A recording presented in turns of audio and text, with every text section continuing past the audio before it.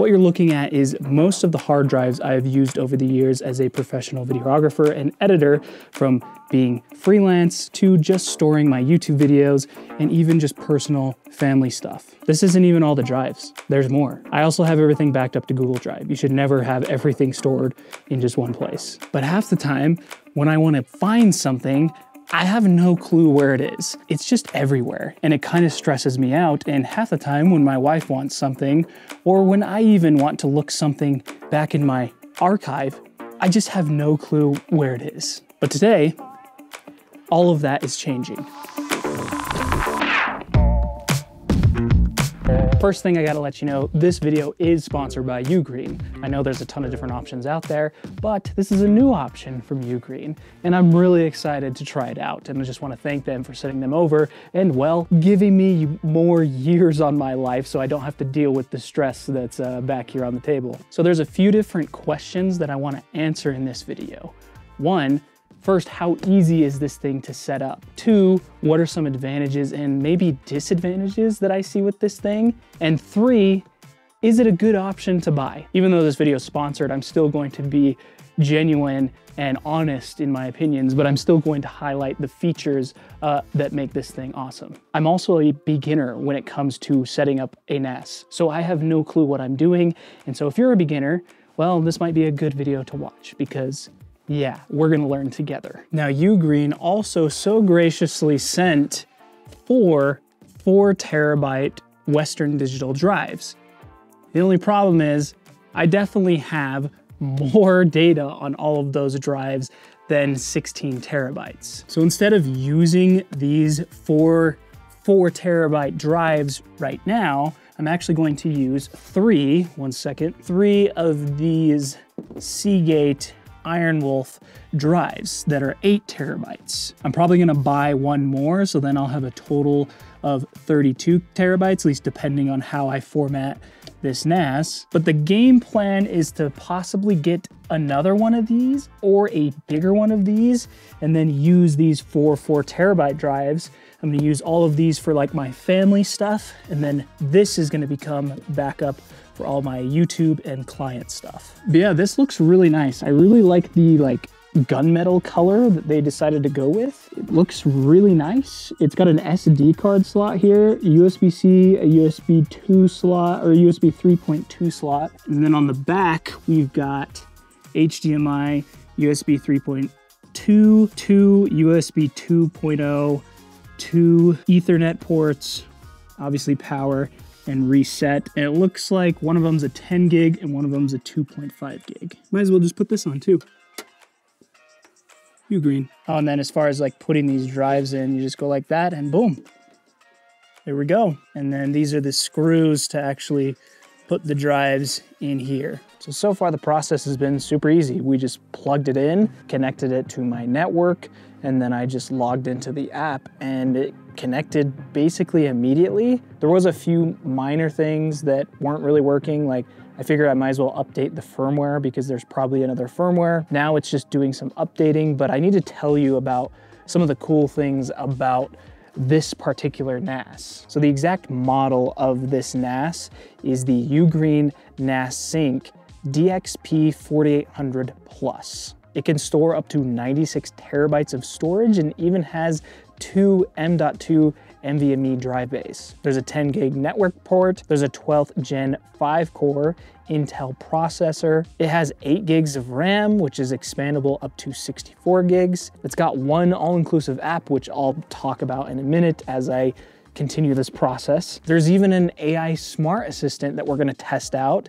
where you can search by text like for pictures or for videos based on what you input. So that'll be kind of nice, especially for like the family stuff. It also has professional security to make sure that all of my data is, is safe. You know, data is something that you need to keep safe in this day and age. So after doing some research on how I want to set up this NAS, I think I'm gonna go with RAID 5 and I need actually at least three drives, I believe. So what I'm doing is I'm getting all the data off of this drive and putting it on another one so then I can slip this one in there. And I also ordered another one off Amazon. So then I have four eight terabyte drives. The big thing is I just want this stuff to be accessible somewhere all in one place. I'm just transferring this data right now. It's gonna take a couple hours, so I will be back in the morning.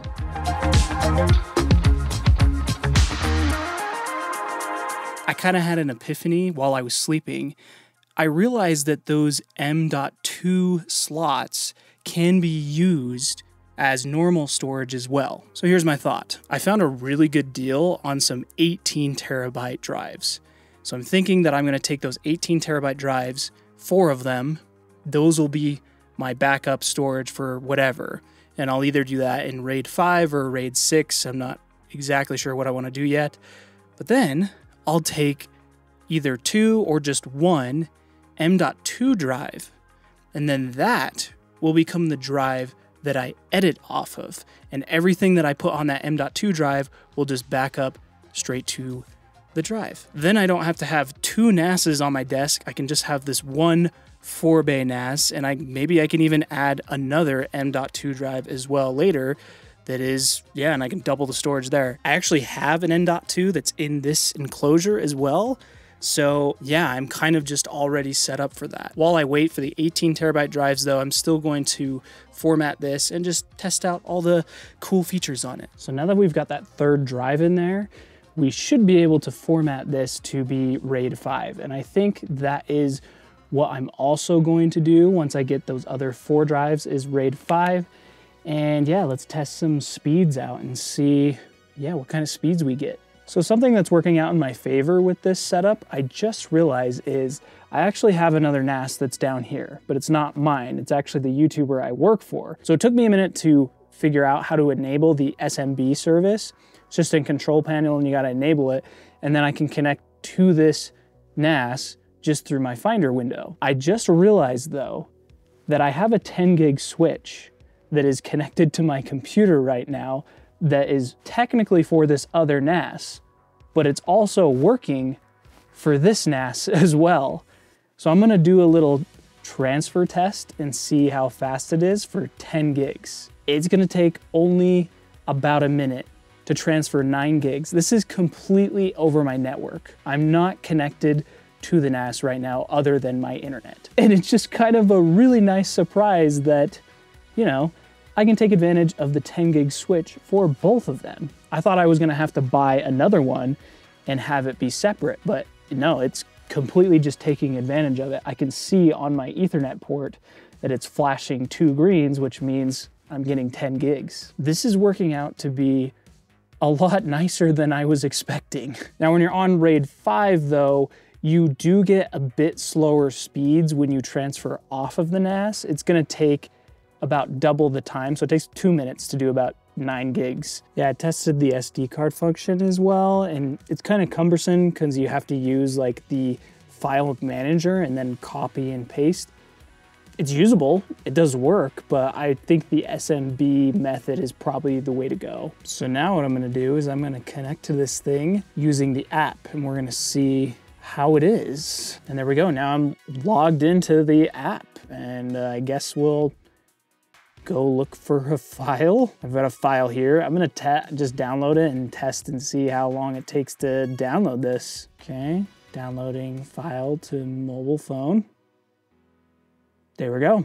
It took about five seconds to do about, that was about a 600 megabyte file. That's pretty good. This is huge actually because I'm on an Android and I edit off a Mac, so I can't use AirDrop. I was using Blip before, but I would normally use Google Drive to transfer like photos or shorts or things that I would upload to my phone. Now though, I can just use this app, log directly in and just download it directly. Oh my, dude, that's game changing for me. Like, you know how annoying it is to use Google Drive for that? So I think this is kind of the last thing I really wanted to try was this whole like AI search type thing. I uploaded some photos and this didn't show up a second ago but it actually says people and I can click on it and it's asking me who this is and I could put you know, Tanika, which is my wife. And then, yeah, any photos that it recognizes her face, it's gonna try and put all of those into one place.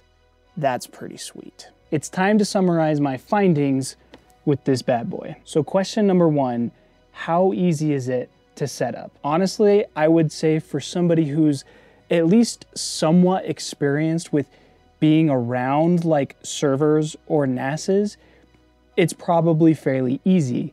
And if you're a beginner in that aspect, like you've never set one of these up before, it was very straightforward, honestly. If you're like a total beginner and you have no clue what you're doing in regards to storage or anything like that, it may be a tiny bit more difficult. Like if you're only gonna use this to store like family photos and videos, then maybe just a little bit harder, but it seems to walk you through the process. And also pretty much all the decisions that I made on how I set this up, it had like a little thing that said recommended. So even if you're a beginner and you're not super advanced and have no clue how NASs work, I think it's also very easy for someone to set up. So advantages and disadvantages. Really the only disadvantage I kind of saw was with that like AI recognition thing. You have to enable the personal folder and then you have to upload to that Photos app that's within the NAS software. It seemed like to me that you couldn't just create it or just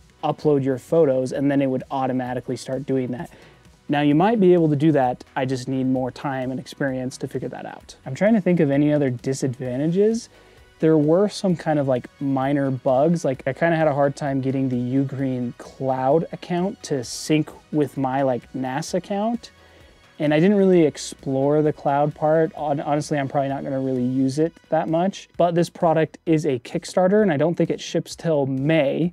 So I'm sure that those bugs will be kind of worked out. I am kind of getting early access to it. The final question, is it a good option compared to maybe other brands out there. Personally, after looking up other brands, just because I was kind of curious, I think this one looks the best. I mean, it doesn't really matter that much if it looks cool, but the other ones just looked kind of like plasticky and just not as like high end. This kind of like metal, solid, gunmetal look, I just, I just think it's cool. And with it sitting at my desk, it's just not really an eyesore. But I think the big thing is the price. I mentioned that this is a Kickstarter project. Check the link in the description and you can get 40% off 48 hours after the launch on Kickstarter. And if you're watching this after all of those discounts, I still think it's very reasonably priced looking at the competition. Go and have a look for yourself, but I'm just gonna end with this.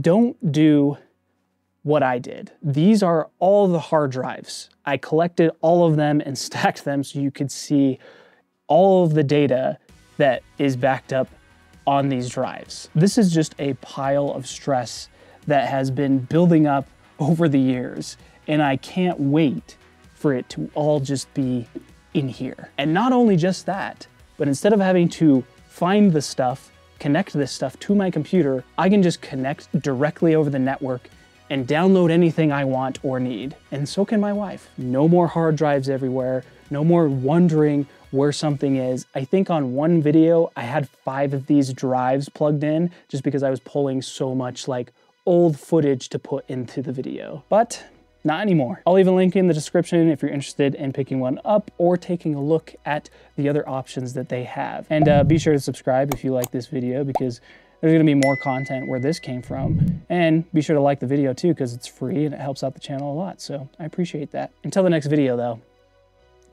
happy filming.